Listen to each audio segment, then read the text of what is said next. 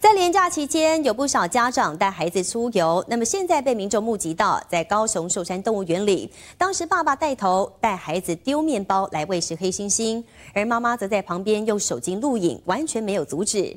影片被抛上网之后，网友看了也直呼他们做了最坏的身教。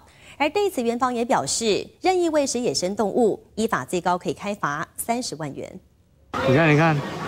两个孩子抓起面包块不断往下丢，父亲在旁边还帮忙递，甚至拍手鼓励。好厉害啊！好厉害个厉害！母亲看着三人行为没有阻止，竟然拿起手机录影。民众目击这一幕超傻眼，因为一家子喂食地点就在高雄寿山动物园。不行吧？这是动物园里面的。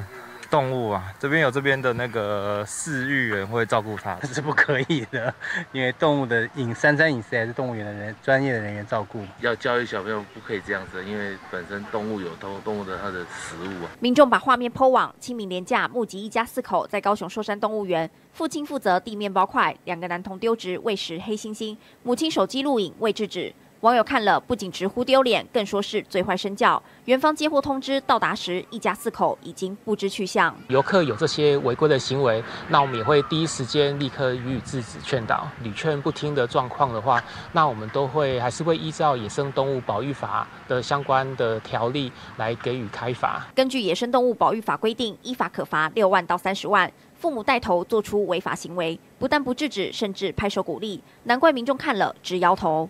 记者王秀成高雄采访报道。